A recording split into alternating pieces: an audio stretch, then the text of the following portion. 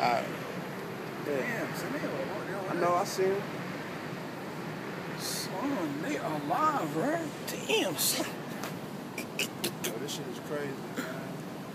We, Alright. fuck it. we, we rolling, man. Damn. All right, let's go. This shit crazy, man. You got all these damn bugs over here and shit like that. Look at that shit. Shit right there, man. That shit is nasty. Anyway, put cam on me, man. Uh, first of all, I wanted to touch on it's a couple of it's a couple of fuckery that's going on, you know, on um on Facebook and all that other shit, man.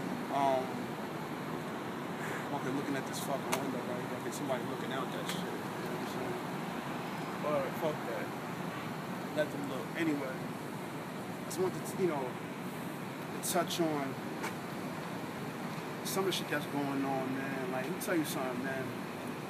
I want to say shout out to my women who be on Instagram, be on Facebook, who are not looking for attention, not looking for super male attention and stuff like that to boost their confidence up, to make them feel good.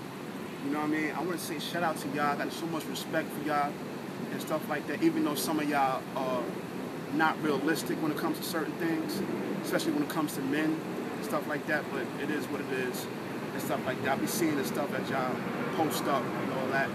But um, cause you got you got certain women, right?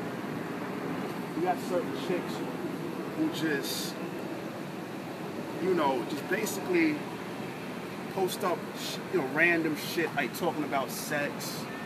You know what I'm saying? Talking about basically taking pictures of himself and, you know, not with not too much clothing. You know, with booty shorts and little little t-shirts. This shit is crazy, man. See all that shit, man? If one look, if one one of them shits jump on me, I'm out. I'm, we gotta go to a different location because this shit is fucking crazy.